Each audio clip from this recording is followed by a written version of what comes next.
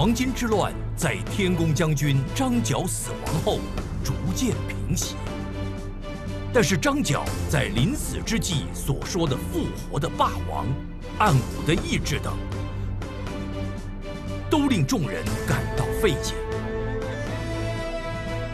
然而成平之时没过多久，原本称霸西北的董卓也趁势崛起，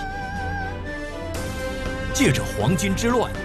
假借秦王的名义进京屠杀，并挟持献帝，大肆屠杀京洛一带的反抗势力，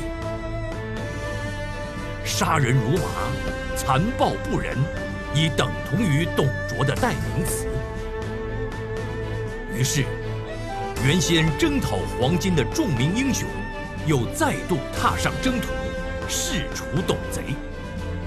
但是董卓身边有两名绝世猛将，若不将他们击败，是无法逼出董卓。